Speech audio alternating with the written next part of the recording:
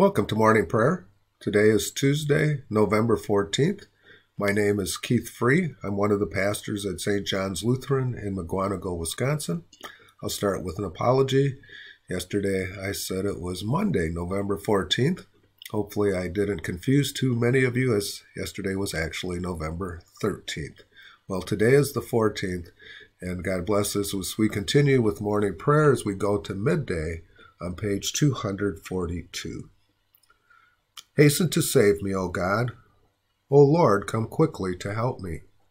Evening, morning, and noon, I cry out in distress, and he hears my voice. You are my God. Have mercy on me, Lord, for I call to you all day long. Glory be to the Father, and to the Son, and to the Holy Spirit, as it was in the beginning, is now, and will be forever. Amen. We pray. Heavenly Father, Send your Holy Spirit into our hearts to direct and rule us according to your will, to comfort us in all our afflictions, defend us from all error, and to lead us into all truth through Jesus Christ our Lord. Amen. Yesterday we started a look at Moses, one of the great leaders of the Old Testament. Um, Moses and Abraham and King David are are right up there. Um, in the New Testament, um, the Mount of Transfiguration, Jesus was there, Peter, James, and John, and Elijah and Moses.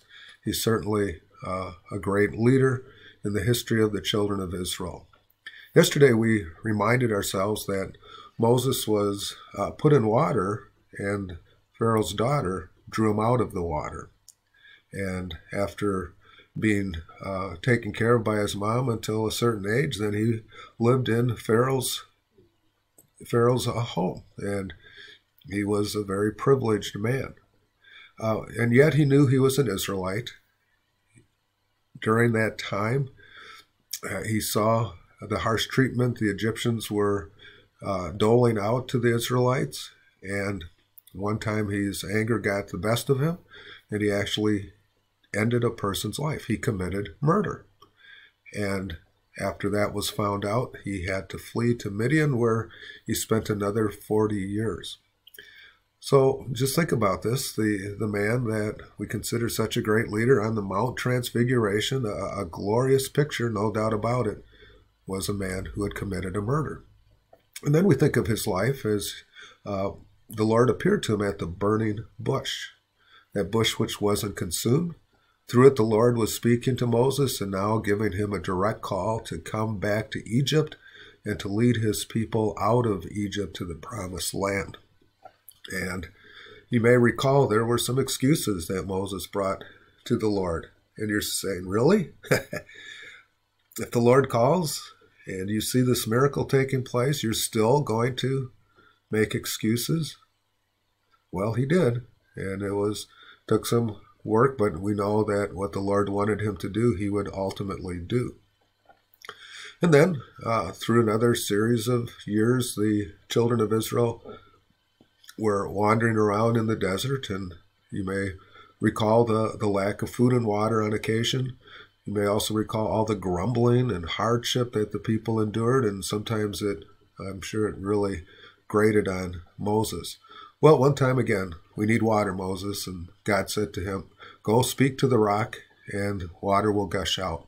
Rather than just speaking to the rock, Moses took the staff in his hand and struck the rock two times. That was in defiance of the Lord. And so at that point, the Lord said to him, You will not enter the promised land. Might seem a little harsh to us, but we know that when we sin, and by the way, we sin often, when we go against God and His Word, sometimes there are going to be ramifications. Um, if I don't treat my spouse as lovingly as God directs me to treat her, there may be times when she's not quite as happy with me as I would like. Or when the Lord gives us the opportunity to serve other people, whether in our community, our neighborhood, our church, uh, to use our time and our gifts and our talents and our abilities to serve those in our family. And we just uh, simply hold up our hand and say, uh uh-uh, uh, i am not going to do it.